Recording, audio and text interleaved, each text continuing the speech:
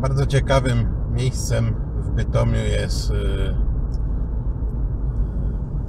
plac Jana w Stolarzowicach.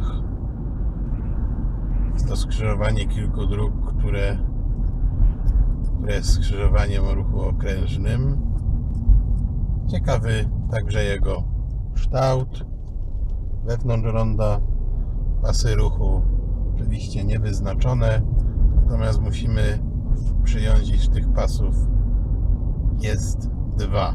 Z tego względu, iż zmieszczą nam się tutaj dwa rzędy pojazdów. Tutaj był pierwszy zjazd, drugi, trzeci.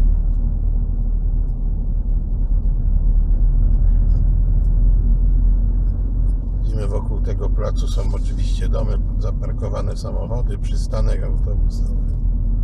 No i tutaj mamy zjazd numer 4 i numer 5, którym zjeżdżam po wykonaniu zawracania.